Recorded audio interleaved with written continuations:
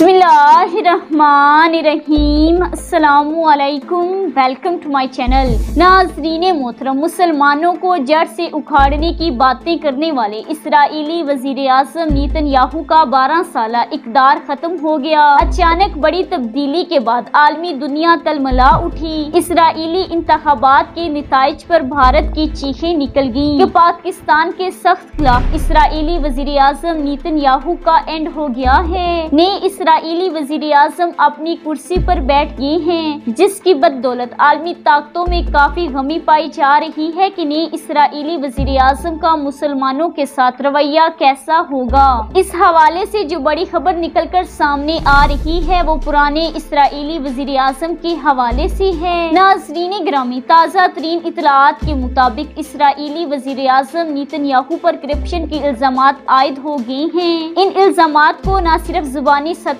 پر تنقید کا نشانہ بنایا جا رہا ہے، بلکہ عدالت میں بھی اس کا فیصلہ ہو گیا ہے۔